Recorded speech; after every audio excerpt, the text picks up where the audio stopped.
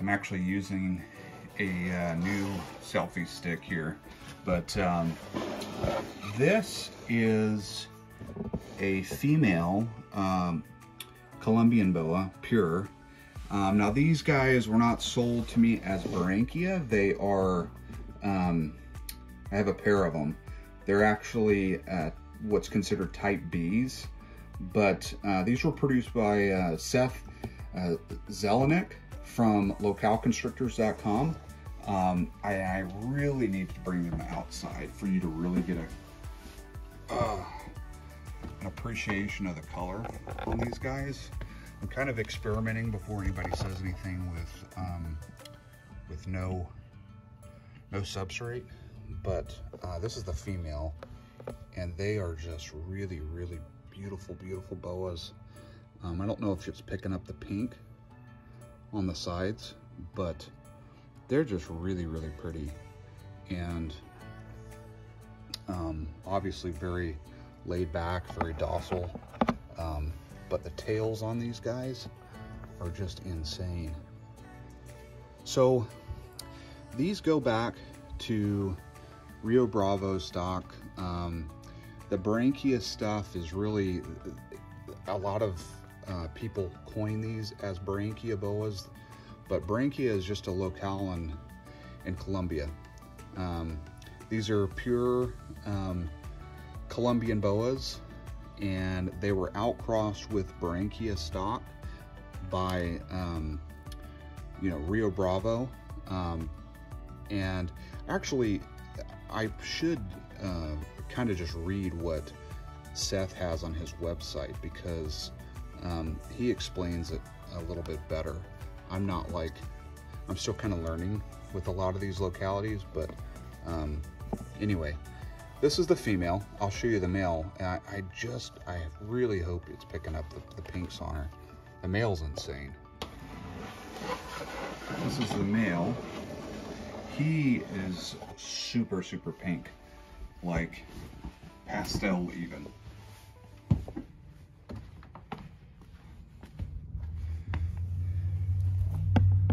Really, really pretty. Just completely like just gorgeous, gorgeous boas. It's late afternoon here, so I hope you guys can see the pinks on these, but they are just so, so pink.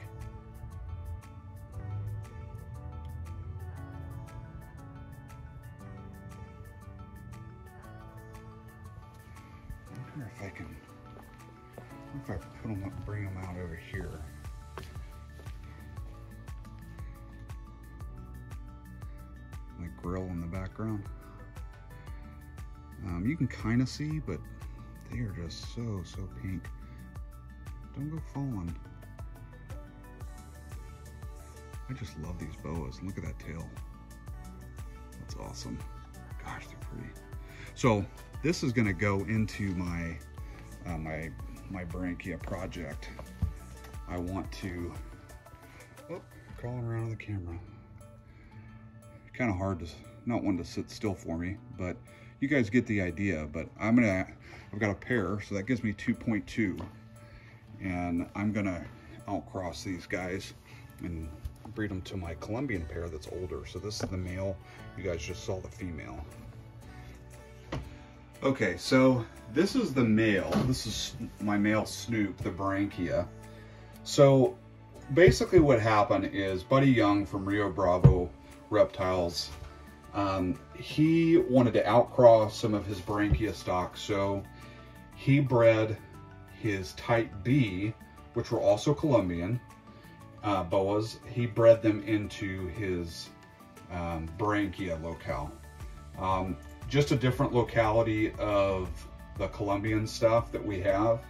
And he called them honeybee because of the colors, you know, with the pastel and stuff like that. So that's kind of what I'm doing. I've got some Barranquilla stuff um, and I got these directly from uh, someone who took uh, Buddy's collection um, when he got out.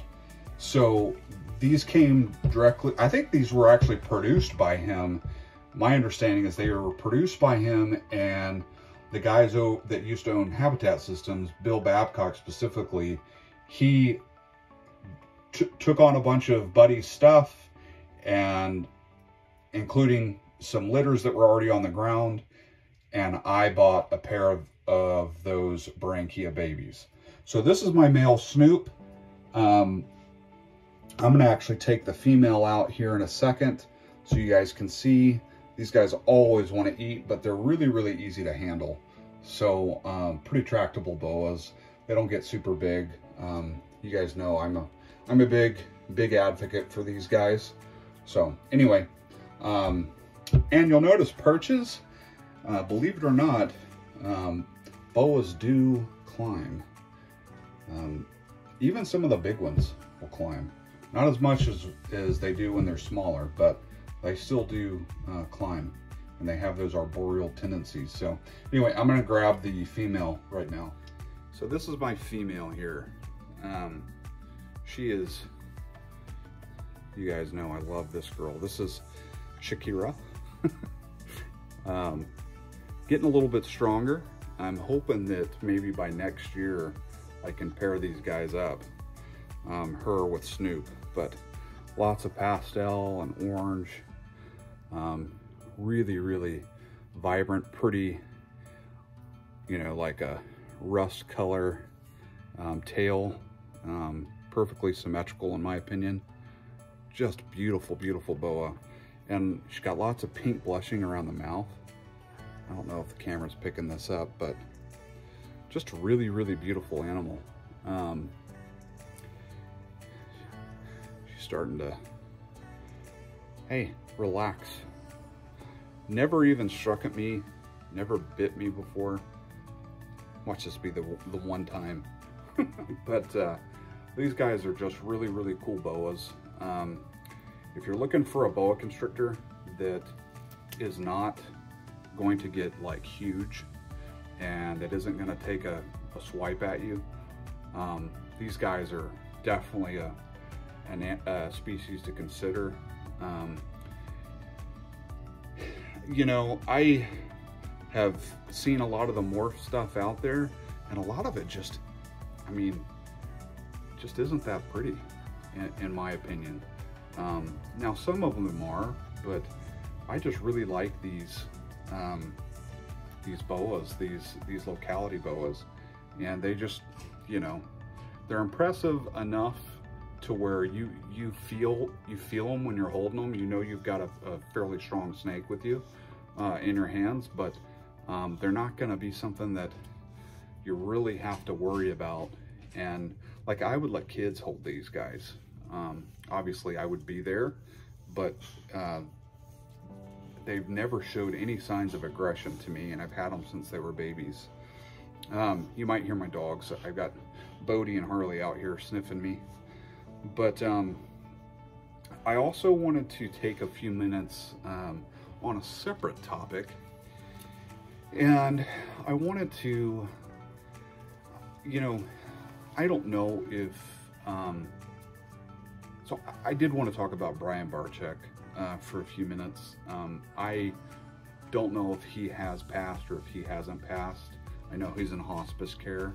Um, and I just wanted to offer condolences um, to his family and uh, well wishes to his family, um, also to him if he's still with us. But um, you know, I I have known Brian for a long time, and um, I remember uh, when my my wife has had some health issues, and when she first got uh, diagnosed with her her stuff, Brian reached out to me and um, you know asked if if there was anything he could do. And I remember I was having kind of a rough go um, earlier in 2023, which Brian had just been diagnosed with his uh, cancer.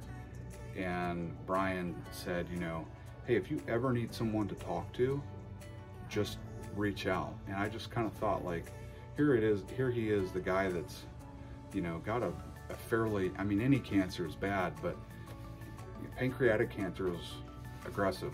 Um, and he was offering to to give me any type of you know just he was just you know he texted me and basically was like hey just call me if you need anything you know if you want need an ear. And i was just like dude like i should be the one offering that to you even though i know he has like a bajillion people that he could contact if he wanted to you know? Um, but that's just how brian was you know? I, I know a lot of people uh, dislike his methods or his the way you know he did things with his vlog and that's okay. A lot of people dislike the way i do things too. I don't really care. Um, everybody has their own way. And i i'll even be the first to say that some some of brian's earlier stuff i wasn't a huge fan of um, because i felt like there was a little too much sensationalism in there. But having known brian for a long time and having chatted with him many times off camera, behind closed doors, um, Brian genuinely had a love for wildlife. Uh, he he loved animals, uh, specifically reptiles. And as far as I can tell, he was the first guy to see YouTube as a way to share that passion and, you know, bring it out of the basement, as I like to say, into the masses. Um, you know, uh, there was Steve Irwin back before we had computers and well, we had computers, but back before, you know, we were as advanced with the internet and stuff as we are now. And then you have Brian who took that um, and, and really, really went, ran with it. And, uh, you know, he, he didn't start making money right out the gate, you know, so it's not like it was something that was just a get rich quick, quick scheme. Um, but, you know, I, I really do think that uh, despite some of the things that people like to rag on Brian for, um, he did a lot more good than that. And he was a really good dude if you got a chance to know him.